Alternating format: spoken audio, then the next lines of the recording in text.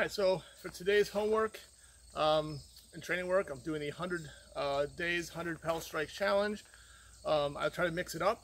Um, one thing I've been working on is making sure I don't just use uh, wooden training swords, as I work on uh, using my regular uh, fighting swords and uh, making sure that what I'm training on the wooden swords translate to the steel. Um, today I'm working on something real basic. I kind of got a foot injury, so I'm not moving very much. So I'm just going to work on, again, keeping that shield up, defensive, positioning it correctly, uh, keeping my head up so I'm not leaning down. I'm to be throwing an onside strike, down. So onside strike, moulinet. Sorry, did it wrong the first time. So on the onside strike, then coming in with the moulinet.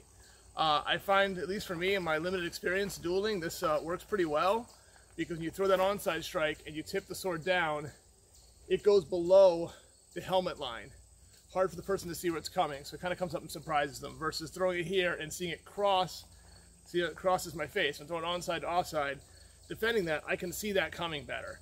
Here you throw this, you tuck the sword down, it's below that line and then come back up and strike. So it works for me. Uh, so I'm practicing one combo of many, uh, but I like it. So I'm gonna throw 100 strikes at that and that's about it.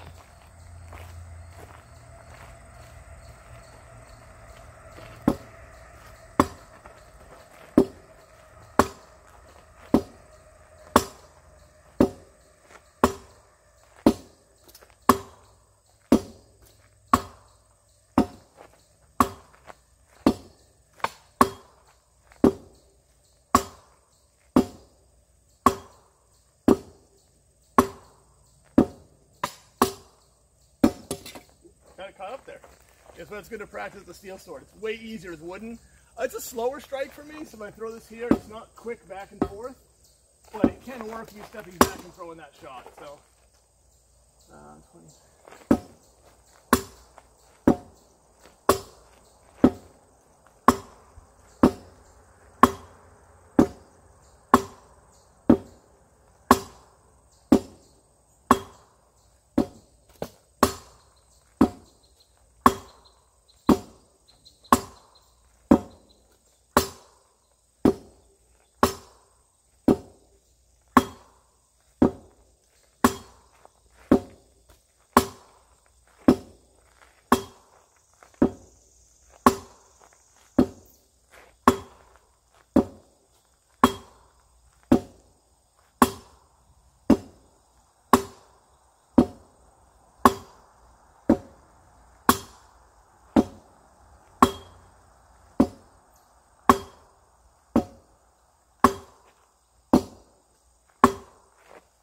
So, um, yeah, it's not, it's more of a deceptive strike. It's not super fast. You're not going to throw it all the time, but it works in there. You throw that one, disappear, come through strike.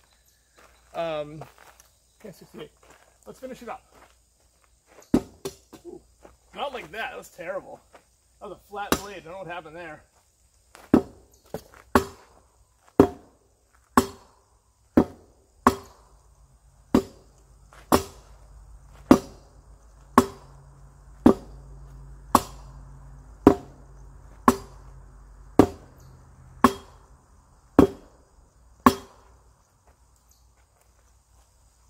Set into A here.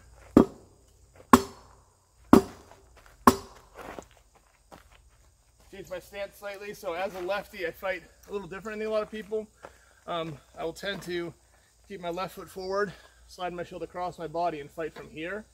Because all the sword strikes are coming on this side if you're fighting a righty. It's not as even as a true A guard. It's more like this.